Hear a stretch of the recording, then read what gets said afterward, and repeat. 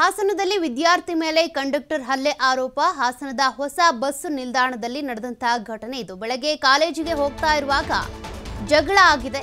ವಿದ್ಯಾರ್ಥಿ ಮೇಲೆ ಹಲ್ಲೆ ಆಗಿದೆ. ಹೀಗಾಗಿ ಸ್ಥಳದಲ್ಲಿ ಪ್ರತಿಭಟನೆ ಮಾಡುವುದಕ್ಕೆ ಅಂತ ನೂರಾರು ವಿದ್ಯಾರ್ಥಿಗಳು ಜಮಾಯಿಸಿದ್ದಾರೆ. ವಿದ್ಯಾರ್ಥಿಗಳಿಂದ ಬಸ್ ನಿಲ್ದಾಣದಲ್ಲಿ ಪ್ರತಿಭಟನೆ ನಡೆದಿದೆ. ಬಸ್ಗೆ ಅಡ್ಡಲಾಗಿ ನಿಂತ್ಕೊಂಡು ಪ್ರತಿಭಟನೆ ಮಾಡಿದ್ದಾರೆ ವಿದ್ಯಾರ್ಥಿಗಳು. ಅರ್ಧ ಗಂಟೆಗಳ ಕಾಲ ವಿದ್ಯಾರ್ಥಿಗಳಿಂದ ಮಾತಿನ ಚಕಮಕಿ ಕೂಡ ನಡೆದಿದೆ. ಇನ್ನು ಪೊಲೀಸರು ಮಧ್ಯ ಪ್ರವೇಶ ಮಾಡಿ ಸುಖಾಂತ್ಯ ಕಂಡಿದೆ ಈ ಪ್ರಕರಣ. ವಿದ್ಯಾರ್ಥಿಗಳ ವರ್ತನೆ ಕಂಡು ಸಾರಿಗೆ ಸಿಬ್ಬಂದಿ ಆಕ್ರೋಶವನ್ನ ವ್ಯಕ್ತಪಡಿಸಿದ್ದಾರೆ.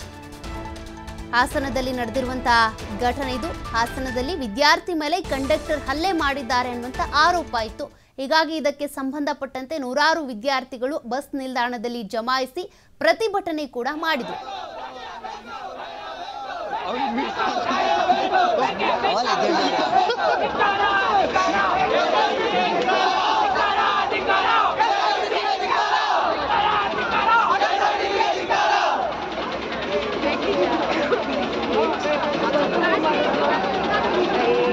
मंदाशी येऊन जिल्ह्यावर आहे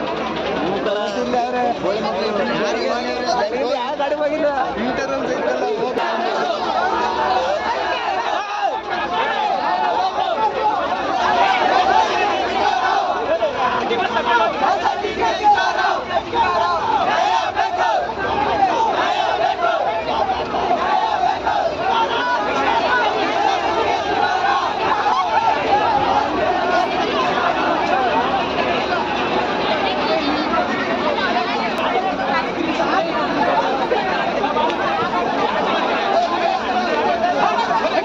ಅರ್ಧ ಸ್ಟೂಡೆಂಟ್ಸ್ ಇಲ್ಲೇ ಅವ್ರೆ ಇಂಟರ್ನಲ್ ಅವೆಲ್ಲ ಕಾಮನ್ ಸೆನ್ಸ್ ಇಲ್ಲ ಬಿಡಿ ಸರ್ ಅವೆಲ್ಲ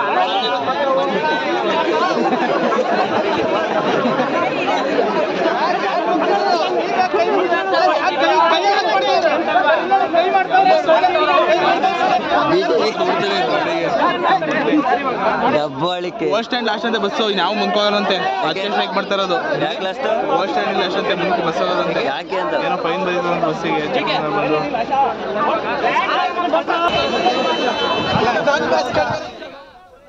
ಡೀಟೇಲ್ಸ್ ಕೊಡ್ತಾ ಹೋಗ್ತಾರೆ ಪ್ರತಿನಿಧಿ ಪ್ರಕಾಶ್. ಪ್ರಕಾಶ್ ಹಾಸನದ ಹೊಸ ಬಸ್ ನಿಲ್ದಾಣದಲ್ಲಿ ನಡೆದಿರುವಂತಹ ಘಟನಾ ದೃಶ್ಯಗಳನ್ನ ನೋಡ್ತಿದೀವಿ ಪ್ರಕರಣ ಸದ್ಯಕ್ಕೆ ಸುಖಾಂತ್ಯ ಕಂಡಿದೆಯಂತೆ. ಏನ್ ಗಲಾಟೆ? ಹೇಗ್ ಸುಖಾಂತ್ಯ ಕಾಣ್ತು ಪ್ರಕರಣ?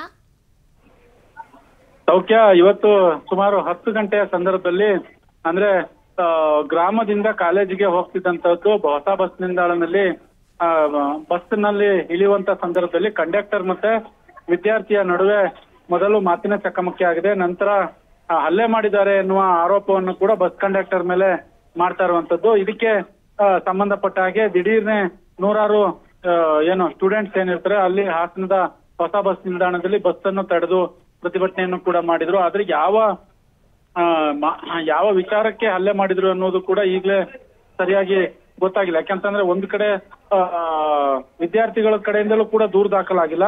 ಜೊತೆಗೆ ಕಂಡಕ್ಟರ್ ಕಡೆಯಿಂದಲೂ ಕೂಡ ದೂರ ದಾಖಲಾಗಿಲ್ಲ. ಯಾವಾಗ ಪ್ರತಿಭಟನೆ ಸ್ವಲ್ಪ ವಿಕೋಪಕ್ಕೆ ಹೋಗುತ್ತೆ ಎನ್ನುವ ವಿಚಾರ ಗೊತ್ತಾದ ತಕ್ಷಣ ಸ್ಥಳಕ್ಕೆ ಪೊಲೀಸರು ಆಗಮಿಸ್ತಾರೆ. ನಂತರದಲ್ಲಿ ಪ್ರಕರಣವನ್ನು ಸುಖಾಂತ್ಯ ಮಾಡೋದ್ರಲ್ಲಿ ಯಶಸ್ವಿಯಾಗಿರುವಂತದ್ದು ಸುಮಾರು ಅರ್ಧ ಗಂಟೆಗಳ ಕಾಲ ಹಾಸನದ ಹೊಸ ಬಸ್ ನಿಲ್ದಾಣದಲ್ಲಿ ಆ ಎಲ್ಲಾ ಬಸ್ ಅನ್ನು ಅಂದ್ರೆ ಹಾಸನದಿಂದ ಯಾವ ಕಡೆ ಹೋಗ್ತಿದೋ ಆ ಬಸ್ಗಳನ್ನೆಲ್ಲವನ್ನು ಕೂಡ ತಡೆದು ಪ್ರತಿಭಟನೆಗೆ ಮುಂದಾಗಿ ಆಕ್ರೋಶವನ್ನು ಕೂಡ ವ್ಯಕ್ತಪಡಿಸ್ತಾರೆ. ಇವರ ವರ್ತನೆಗೆ ಕಂಡಕ್ಟರ್ ಮತ್ತೆ ಡ್ರೈವರ್ಗಳ ಸಿಬ್ಬಂದಿ ವರ್ಗದಲ್ಲೂ ಕೂಡ ಆಕ್ರೋಶ ವ್ಯಕ್ತವಾಗಿತ್ತು. ಯಾಕಂತಂದ್ರೆ ಒಂದು ಏನೋ ಒಂದು ಒಂದು ಮಾರ್ಗದಲ್ಲಿ ಹೋಗುವಂತಹ ಸಂದರ್ಭದಲ್ಲಿ ಈ ರೀತಿ ಮಾತಿನ ಚಕಮಕಿಗಳು ಮತ್ತೆ ಸರ್ವೇ ಸಾಮಾನ್ಯಗಳು ಕೂಡ ಆಗಿರ್ತವೆ ಆದ್ರೆ ಈ ರೀತಿ ಪ್ರತಿಭಟನೆ ಮಾಡುವುದು ಎಷ್ಟು ಸರಿ ವಿದ್ಯಾರ್ಥಿಗಳ ವರ್ಗದಲ್ಲಿ ಅನ್ನೋದು ಅವರ ಒಂದು ಆರೋಪ ಕೂಡ ಆಗಿತ್ತು. ಒಟ್ಟಾರೆ ಈಗ ಪ್ರಕರಣಕ್ಕೆ ಸಂಬಂಧಪಟ್ಟಾಗಿ ಪೊಲೀಸರು ಸ್ಥಳಕ್ಕೆ ಬಂದು ಆ, ಪ್ರಕರಣವನ್ನು ಕೂಡ ಸುಖಾಂತ್ಯ ಮಾಡಿದ್ದಾರೆ ಸೌಖ್ಯ. ಥ್ಯಾಂಕ್ ಯು ಪ್ರಕಾಶ್ ಡೀಟೇಲ್ಸ್ಗೆ ನಿಂತ್ಕೊಂಡು